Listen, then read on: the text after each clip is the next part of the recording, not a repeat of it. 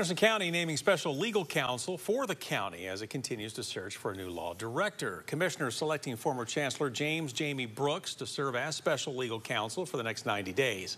The county is searching for a new law director following the death of longtime public servant Jay Yeager at the end of July. And now, the Anderson County government looking for a qualified candidate to fill his shoes. You can apply for this role online.